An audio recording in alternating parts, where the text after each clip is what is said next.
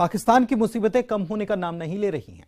IMF ने कर्ज के लिए झोली फैलाकर खड़े पाकिस्तान के सामने एक और शर्त रखी है। उसने पाकिस्तान से पहले अपने यहाँ राजनीतिक विवाद को सुलझाने के लिए संवैधानिक प्रक्रिया का पालन करने के लिए कह दिया है।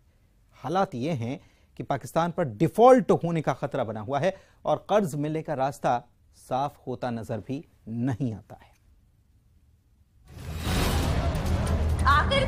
तो क्या करे जिसमें रोज़ाना की सब्ज़ी नहीं है?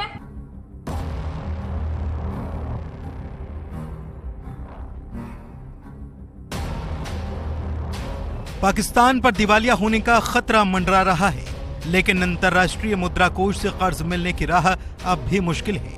आईएमएफ ने कर्ज मांग रहे पाकिस्तान के सामने एक ऐसी शर्त रख दी है, जिसे पूरा करना मुल्क के लिए टेढ़ी उंगली से घी निकालने जैसा है। जी हाँ आईएमएफ ने पाकिस्तान को राजनीतिक विवाद सुलझाने के लिए संवैधानिक प्रक्रिया का पालन करने के लिए कह दिया है।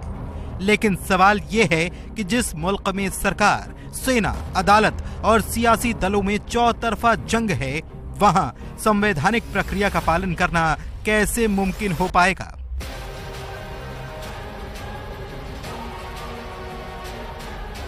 दरअसल, कर्ज को लेकर आईएमएफ और पाकिस्तान सरकार के बीच पिछले कई महीने से जारी गतिरोध के बीच प्रधानमंत्री शहबाज शरीफ ने 6.5 अरब डॉलर के बेल आउट पैकेज को बहाल करने के लिए प्रबंध निदेशक क्रिस्टालिना जॉर्जिवा से संपर्क किया था।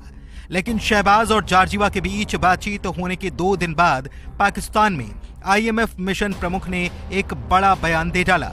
उन्होंने कहा, हम हालिया राजनीतिक घटनाक्रम पर ध्यान देते हैं और घरेलू राजनीति पर टिप्पणी नहीं करते हैं। लेकिन हम उम्मीद करते हैं कि संविधान और कानून के शासन के अनुरूप शांतिपूर्ण तरीका निकाला जाएगा। ज़ाहिर है, पाकिस्तान के राजनीतिक हालात पर आईएमएफ की नज़र है।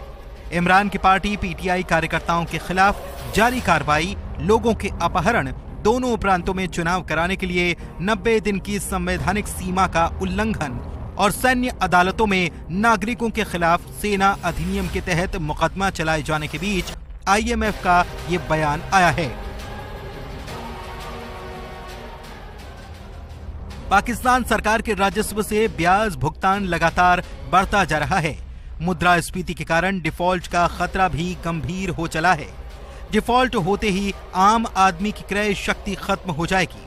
पाकिस्तानी पिछले उनसठ सालों में उच्चतम मुद्रास्फीति दर का सामना कर रहे हैं। पाकिस्तान में रुपए की कीमतों में गिरावट लगातार जारी है। पाकिस्तान में मुद्रास्फीति इस समय छत्तीस दशमलव चार फ़ीसद तक पहुँच चुकी है। डिफ़ॉल्ट की स्थिति में मुद्रा मुद्रास्फीति की गति कई गुना बढ़ जाएगी और लोग बाज़ार में उपलब्ध सीमित वस्तुओं के लिए भी मारपीट करेंगे। इतना ही नहीं, बैंक और वैश्विक बाज़ार पाकिस्तान के लिए दरवाजे बंद कर देंगे। Bureau report, news eighteen.